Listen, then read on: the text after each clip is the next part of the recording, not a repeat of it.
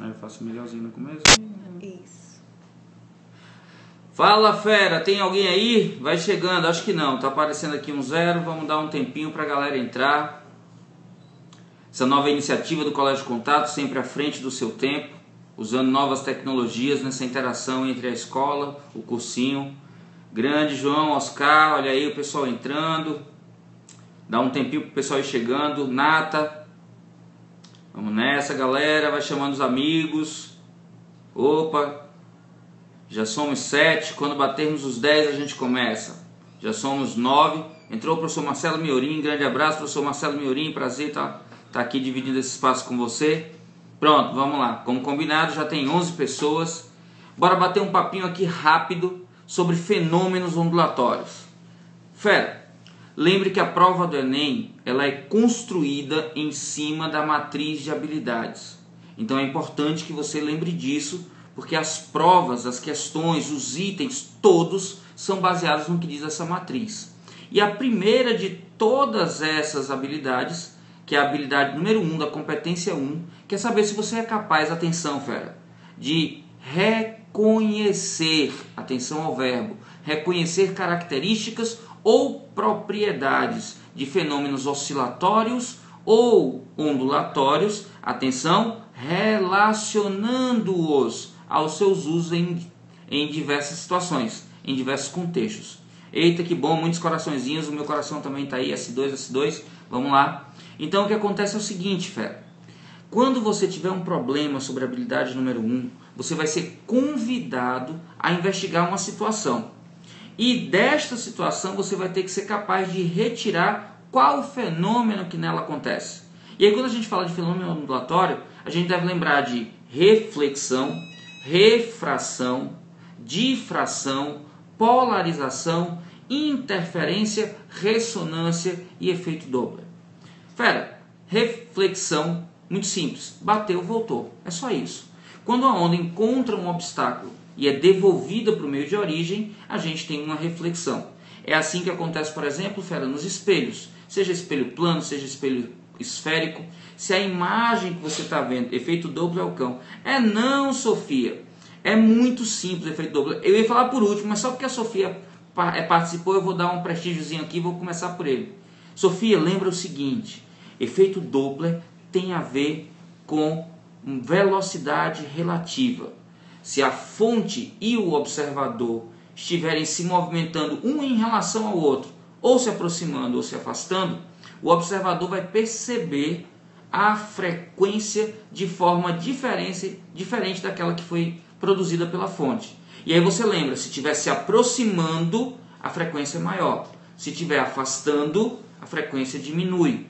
Aproximação, frequência aumenta. E quando a gente fala de frequência, a frequência aumentando, opa, olha isso, quando o observador se aproxima mais. Atenção, Sofia, mais no numerador e menos no denominador, tá? Quando tem aproximação, a gente tem que aumentar a fração. Então, em cima é mais, embaixo é menos. Mas pensa comigo, aumento de frequência. Se é som, o que, é que acontece? Se é som, fica mais agudo. Então, imagina você assistindo corrida. Quando você está correndo, lá vem um automóvel em sua direção, você percebe o som aumentando a frequência. Passou de você, um, vai diminuir a frequência. Uma ambulância se aproximando. Esse uh, ela indo embora. Então, quando você tem efeito Doppler, tem aproximação ou afastamento. Na aproximação, você tem um aumento na frequência percebida e no afastamento tem uma diminuição. Não, não crie expectativa de ter uma questão onde você vai precisar fazer muita conta com isso. Só caiu uma vez até agora efeito Doppler no Enem e a fórmula estava na questão. Porque as principais fórmulas que você tem que saber são as mais simples. Apareceu aí uma pergunta sobre frequência de novo. Quando se afasta, a frequência percebida é menor. Cuidado! A frequência da onda, quando sai da fonte, não se altera mas a percepção que temos dela é que é diferente. Cuidado com isso. A gente percebe diferente do que a fonte produziu. Tranquilo? Voltando lá para a nossa ordem. Na reflexão, fera, a onda vem, encontra um obstáculo e retorna. Como a velocidade da onda só depende do meio, O comprimento depende da frequência e da velocidade. E a frequência só depende da fonte. Se eu não mudei o meio, não mudei a fonte, eu não vou mudar nada, nem a velocidade, nem a frequência, nem o comprimento de onda. Lembra que é para relacionar nas situações. Então, onde é que a gente vê reflexão além de em espelhos? A gente vê, por exemplo, fera atenção, em exames de imagem. Quando a gente está falando, por exemplo, de ultrassonografia ou quando a gente está falando em ecografia. Atenção à palavra eco. Eco está sempre relacionado à reflexão. Um eco acontece, fera, quando acontece uma reflexão. Em particular, eco sonoro para o ouvido humano acontece quando a gente recebe o mesmo som separado de um intervalo de tempo de pelo menos 0,1 segundo. Você está lá de frente para um obstáculo e grita: Alô! Aí o som que você escuta: Oh, oh, oh! Isso indica que entre ir e voltar, o som gastou pelo menos 0,1 segundo. Atenção, fera, porque isso também permite que certos animais consigam se localizar no espaço. O morcego, por exemplo, tem uma grande dificuldade visual, mas em compensação tem um sistema muito sofisticado de percepção de sons. Ele produz ultrassons que são refletidos por obstáculos e pelo tempo de ir e vir, o cérebro do morcego consegue processar informações sobre a distância entre ele e o obstáculo. Consegue inclusive com isso desviar facilmente de obstáculos móveis. Tranquilo? É só você pensar o seguinte: imagina que você está num lugar escuro de olhos fechados, segurando bombinhas que estouram no chão, feito bomba track. Você arremessa para frente, demora um tempo, demora um tempo, pá, explodiu. Você arremessa para o lado, demora um tempo, pá, se estourou mais rápido do lado, é porque em menos tempo encontrou o obstáculo. Então essa ideia de tempo, distância está intimamente ligado e é assim, por exemplo, o funcionamento de sonares e de radares pela reflexão da onda, na verdade, pelo intervalo de tempo entre o ir e vir da onda, é possível que você saiba a distância do obstáculo. Olha aí, cheio de gente entrando, gente entrando e saindo, eu acho que a conexão de algumas pessoas não está boa. Quem vai chegando aí pode ir lançando uma pergunta, eu tento ler enquanto estou falando. Tranquilo, fera? Outra coisa que é importante que você saiba, fera, é sobre refração. Olha aí, polímero 66 entrando. Então, quando você tem refração, fera, a onda passa de um meio para outro. E se há mudança de meio, fera, a gente fala também em mudança de velocidade. Lembra, fera, a velocidade de propagação da onda depende do meio onde ela se propaga. Em geral, oh que coisa linda, quantos corações, obrigado aí para quem está dando tantos corações, S2, S2 também. Então o que acontece é, se a onda está mudando de meio, está mudando de velocidade. E aí entra em entra em questão uma coisa chamada refringência. A gente fala de refringência, a ideia de refringência como se fosse uma dificuldade de propagação da onda. Quanto maior é a refringência do meio, menor a velocidade de propagação da onda nele. Opa, muitos corações, que coisa boa. Então, quanto maior a refringência, mais difícil a propagação, menor a velocidade no meio. Quando a gente fala em particular de luz, fera, fique atento a isso. A luz pode ser monocromática ou policromática. Mono, um, cromos, cor. Monocromática é aquela luz de uma única frequência. Policromática é aquela que tem várias. Atenção agora, fera. O índice de refração de um meio está relacionado à frequência da onda.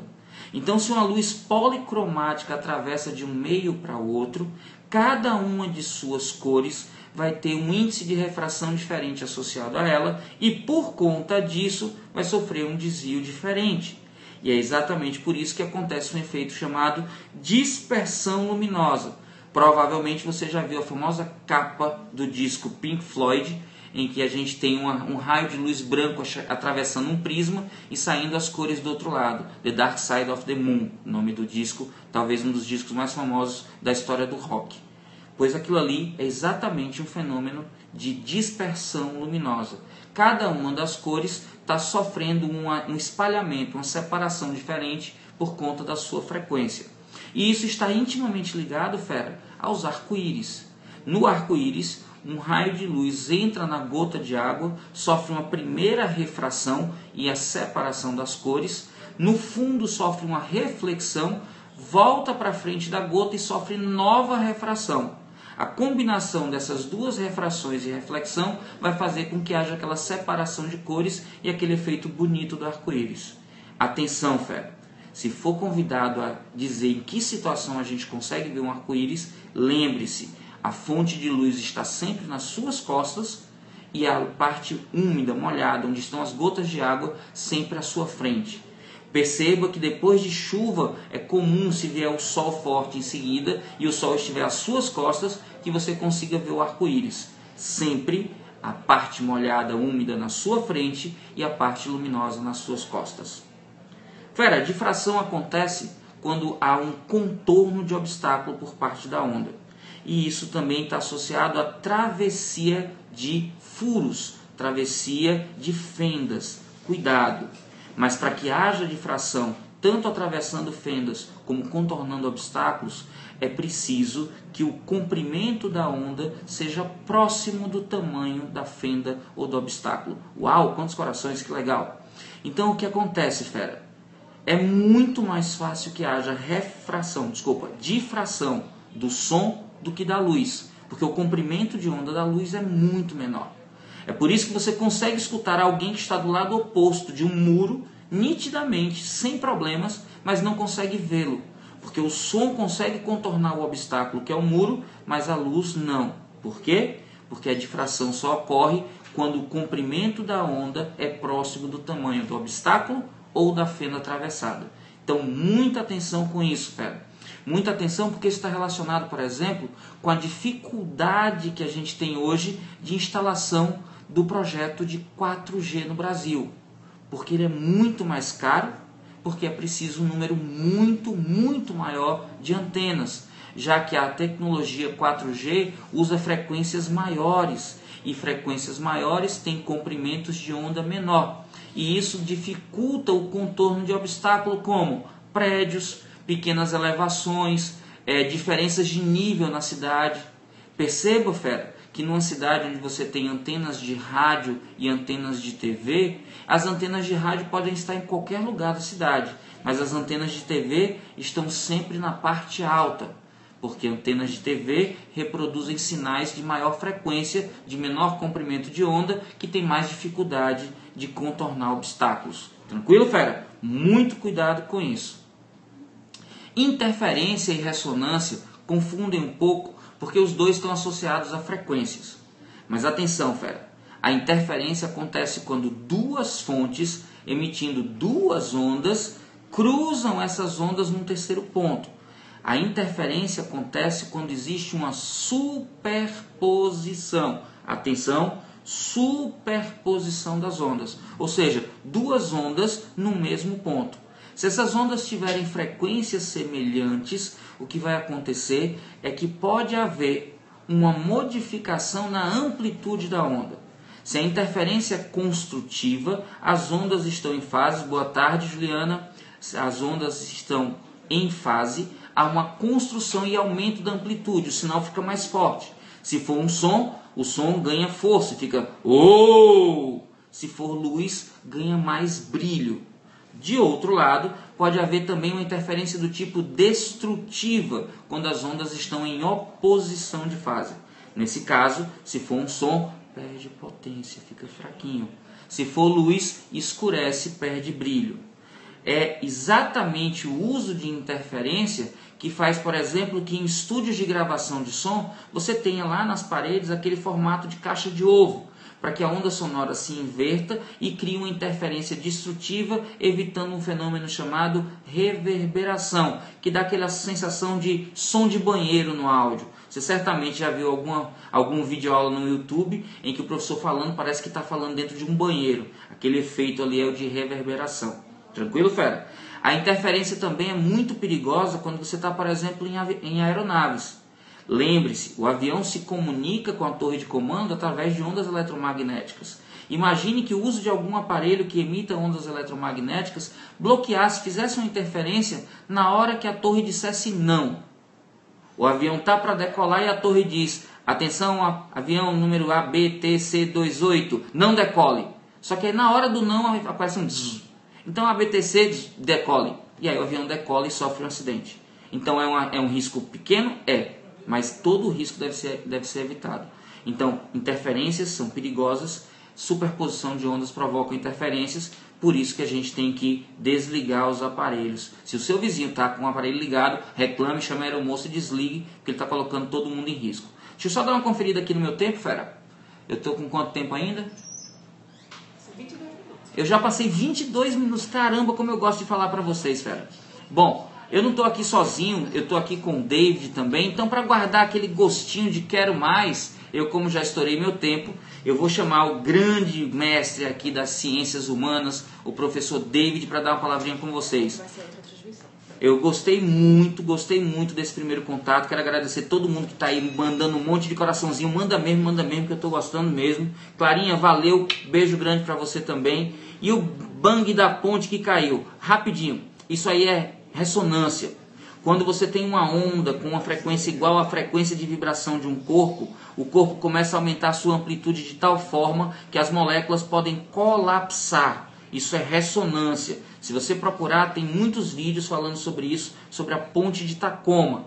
Aproveita e aí para, olha só, procure flutter aeroelástico, F L U T T E R, flutter aeroelástico. Essa daí é só se você for fazer ITA, tá? O pessoal do ITA que se preocupa com isso. Para o Enem, basta lembrar que na ressonância há uma troca de energia entre os sistemas, porque eles vibram com a mesma frequência. Fera, eu nem senti passar porque estava bom demais. Espero que a galera convide de novo. Fique atento à programação do contato. O contato está aí, mais uma vez à frente do seu tempo, usando todas as tecnologias para trazer para você, em primeira mão, mais informações na sua preparação. Vamos juntos, fera. Este é seu ano. Lembre que você pode. Beijão.